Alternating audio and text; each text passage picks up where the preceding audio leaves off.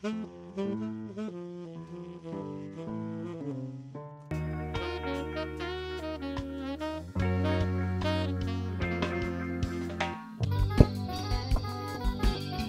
Battaglia, SaxStation.com. This video is an update about Jamulus and also a comparison with a similar program called Sonobus. You just heard three short examples. The first example is using Jamulus, and we're using a private server. I'm playing saxophone and my friend is playing piano. We're about five miles apart when we did that.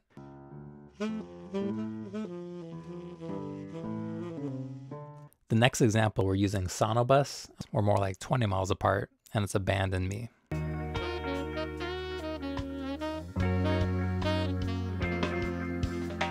The third example is me going into a public group with a guitar player, and I'm actually not sure where he's located, but you can hear there's quite a bit of latency in that example. The first thing that I wanted to mention about Jamulus is that you can have more than four users. Some people were saying they even have like 100 plus people. I don't know if that's really practical to have 100 people in most situations, but you can definitely have more than four, and probably up to about 12 is reasonable. You could probably go higher depending on your connections and all that. With Jamulus, there are less options, it's more simple, but it also seems that overall there's a lower latency. One of the comments on the last video that I made about Jamulus and Jamkazam suggested that I try the program called Sonobus. They said that it was like Jamkazam but more polished and open source. It seems like there are a lot more options to control in terms of the transmission and reception of signals using Sonobus. After I tried Sonobus, I did like it, but I like Sonobus and Jamulus for different reasons. And some things that are good to know about one program are going to apply pretty much to any program that's similar to this.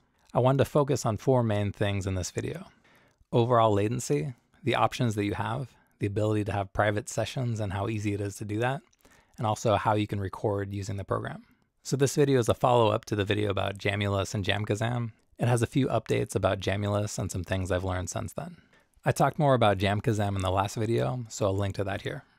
In the online documentation for Sonobus, they suggest that a practical limit for how many people you can have on a session is about a dozen people. And they say that if you had something like a 25 person choir, it'd be unlikely to work too well using their program. You're going to need an Ethernet cable, a microphone, an interface. There are a few key phrases that you probably want to understand if you're going to use a program like this. A ping is a signal that's sent from one computer to another.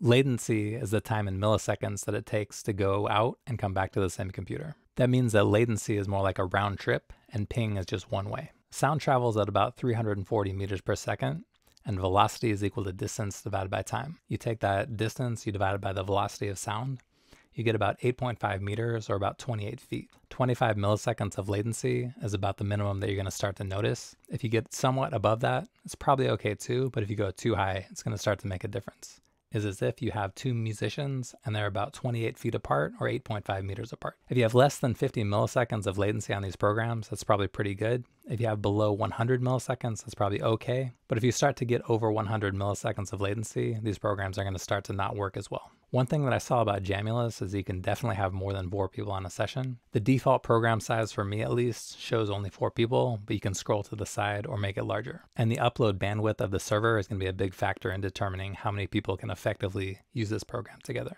On Jamulus, a private server can be a little bit tricky to set up, not impossible, but a little bit more effort than you might expect. But once you do set up a private server, you can record the session that you're having. Another thing that you can try doing is starting a public session on Jamulus and then unchecking the box for public once you have the people that you want in the session. With Sonobus, one of the things that I and my friends noticed was that there seemed to be a higher fidelity right off the bat. With Jamulus, the interface isn't all that pretty and you don't have all that many options, but it does have pretty low latency. Using Sonobus, there are quite a few different options for sending and receiving data, more so than there are with Jamulus.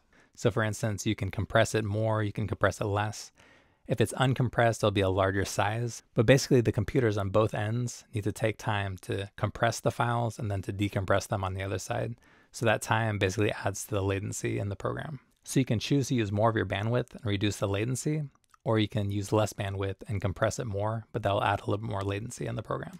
A lot of things that I say about Jamulus will also apply to Sonobus and vice versa.